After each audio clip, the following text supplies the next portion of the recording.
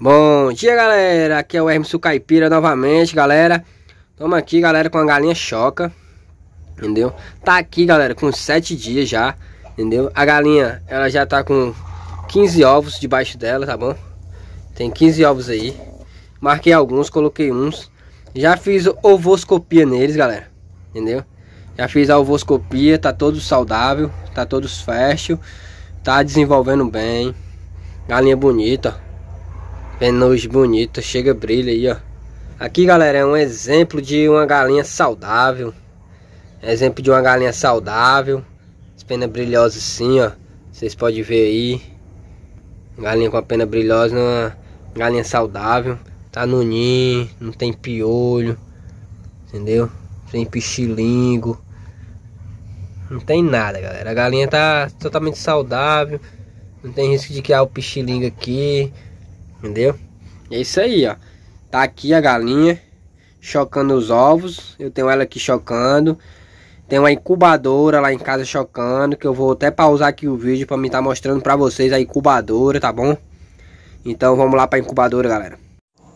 Bom, galera, tô aqui com a chocadeira, entendeu? Minha chocadeira, galera, ela é, é feita do micro-ondas, tá bom? Ela é caseira, uma chocadeira caseira, feita em casa mesmo, entendeu?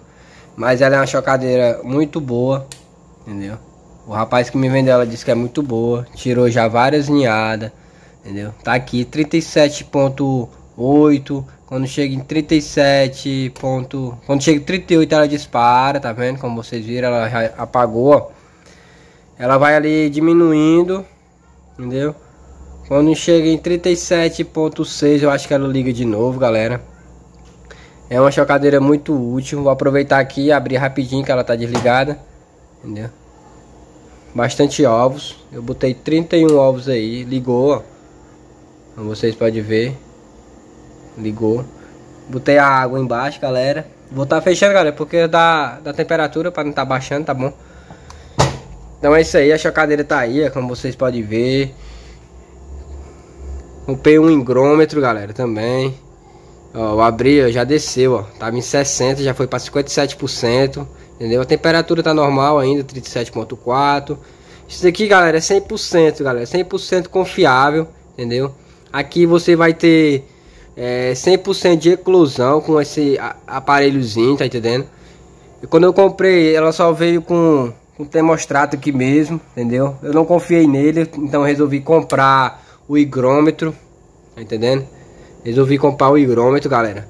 Quando eu fui colocar, galera, a temperatura tava em 35 ponto alguma coisa, entendeu? A umidade tava muito baixa, então eu fiz, fiz esse aumento, entendeu? A umidade fica em 60 e a temperatura sempre 37.4 até 37.6, entendeu? Andei marcando aqui também na incubadora, ela, a umidade dela pode chegar a 55 até 65 e a temperatura de 37.4 até 37.8 lá, ó. Coloquei os dias, já tá com dois dias de incubação, entendeu? E é isso aí, vamos esperar a eclosão dos pintinhos. Ah, disparou de novo, entendeu? Em 38, entendeu? Quando ela chega em 37.6, ela religa novamente. São quatro segundinhos de, de delay aí que ela tem para poder estar tá acionando, ó. Como vocês podem ver ali, ó, diminuindo. Vai chegar em 37.6, galera, vai, vai ligar de novo, ó. Repare, pronto. Aí quando chega em 38, ela apaga. Assim, para não esquentar demais e cozinhar os ovos, tá entendendo? Então ela fica assim. É ótimo, galera. Vamos ver aí a inclusão. Quando estiver nascendo, eu vou estar tá postando vídeo para vocês, entendeu? Vou estar tá postando vídeo da ovoscopia.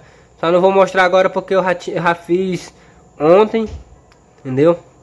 Para mim poder estar tá vendo os ovos fechos, se tava fecho mesmo. Tirando os que não estavam.